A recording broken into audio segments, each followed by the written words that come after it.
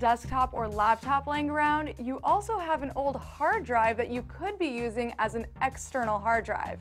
All you need to do is remove that storage and put it in an enclosure. Together, they make a pretty cheap external hard drive. But before you go out and do that, there are a few things you need to know.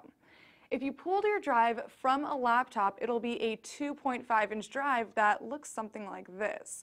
If you pulled the internal drive out of a desktop, it'll be a lot bigger, a 3.5 inch drive that looks like this. Most people are going to be dealing with a SATA drive, but if your drive came from an older machine from before 2003, it'll be a PATA drive, so just keep that in mind. Now that you know what kind of drive you have, it's time to start thinking about the enclosures. So there are a few things you'll want to look for.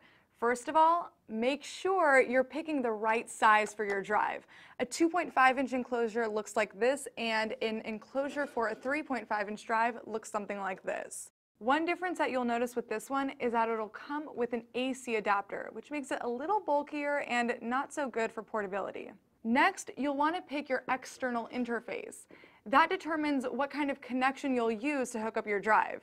In most cases, you'll go with a USB 2.0 connection because any computer can connect with that. But if your computer can take USB 3.0 or FireWire, go with that. Those are faster connections. Now that you have those details out of the way, the last thing to consider is what the enclosure is made out of. When you're shopping for enclosures, you'll notice that they come in aluminum or plastic.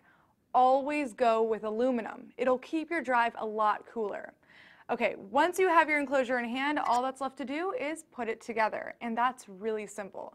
I'll grab my hard drive and put these two connectors together. Now I'll take this part, put it back in the enclosure,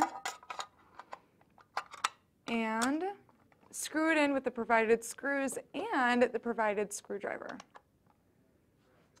Give it a good twist, and my external hard drive is complete. Now, this enclosure came with this cord. It has mini USB on one side and two USB connectors on the other. Reason being that this drive needs more power than normal USB devices. So I'll put my mini USB in here, connect both of these USB cords to my laptop, and there it is. My computer recognized it just like it would any other drive. So now I can open it up, browse some really old files on here, or I can reformat it and start with a clean slate. If you have any questions during this process, please let me know on Twitter and check out the accompanying blog for more tips.